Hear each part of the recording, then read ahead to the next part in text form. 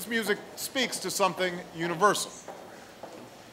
No one goes through life without both joy and pain, triumph and sorrow. The blues gets all of that, sometimes with just one lyric or one note.